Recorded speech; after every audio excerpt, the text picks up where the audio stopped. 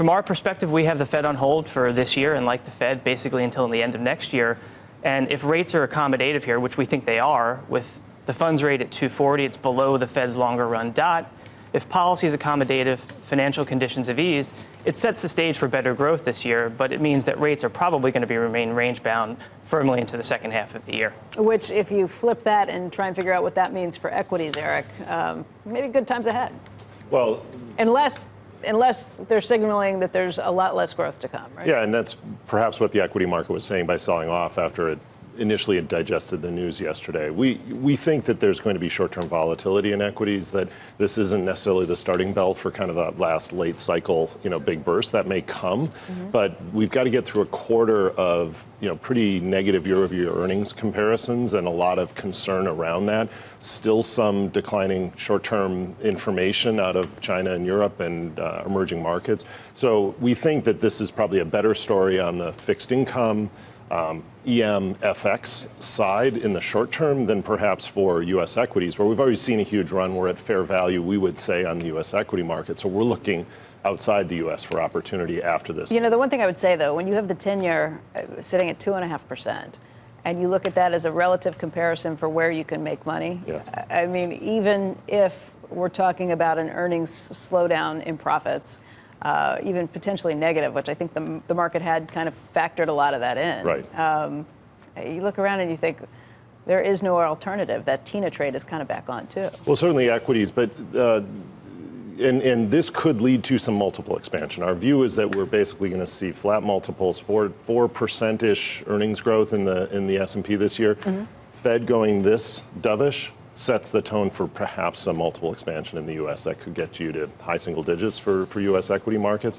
But when you consider the pressure this takes off the dollar, um, the loosening of global financial conditions, we think this is an opportunity to now move to markets which are going to be more levered to kind of improving global growth in the second half of the year. And I guess the biggest reason for, or, or the biggest question behind all of this, and, and, and I'll ask you this, Jay.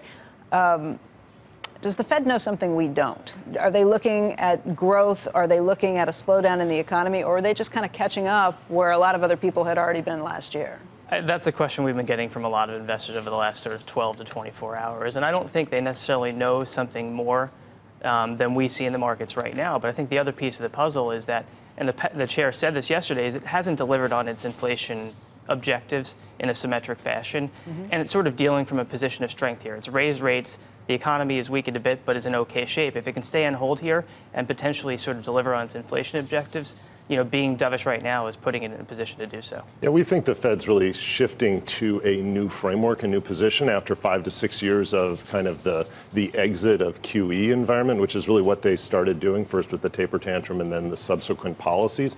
This is a new now framework, going from inflation targeting to flexible Average price targeting, et cetera, and letting letting things overshoot. You could say they're trying to outdove the ECB and the BOJ, but we think it's much more of a they've shifted to a new framework and they just kind of unspooled all of that more. If we never get back to where we were balance sheet wise, is that normal?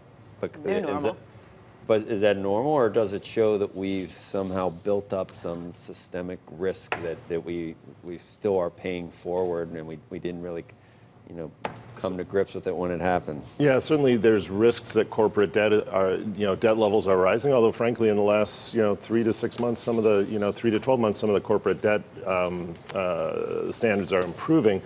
The Fed can live with a, a larger balance sheet. You see Feldstein's piece? The debt crisis, com- crisis is coming soon. I mean, he's warned before about. Yeah. I guess he's not a new monetary. What's that? New monetary theory. He's not an NMT modern, guy. Modern monetary. But this doesn't read very. This is frightening to, to read. But I mean, it's not new, but he's a pretty well respected. We should actually have him on. Well, when you look at the battery of excesses that you would normal, normally monitor to identify end of cycle, the only one that's really flashing red is aggregate corporate debt levels. Yeah. Now. The question is, does that catalyze an end of cycle event? And our credit team would say not yet. That that's still some ways out. And in fact, on the margin, those levels have gotten, or the, the aggregate credit quality has gotten a little bit better lately. Jay, does the dollar strength stay capped now? Has, uh, has the Fed kind of matched the dovishness of elsewhere?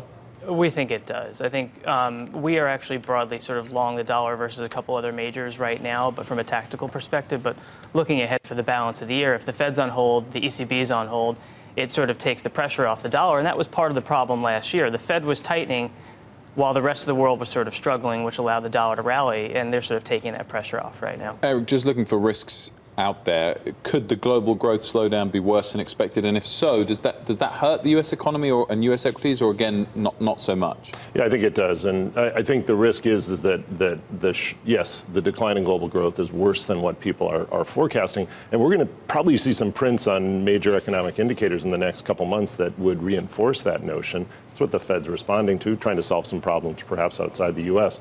Um, if that does become the case, then yes, that probably impacts U.S. risk assets. Um, we think think the U.S. administration has less incentive to, to sign a trade deal sooner rather than later. That can put some pressure on on China and, and markets. So there's plenty of short-term risk to keep an eye on.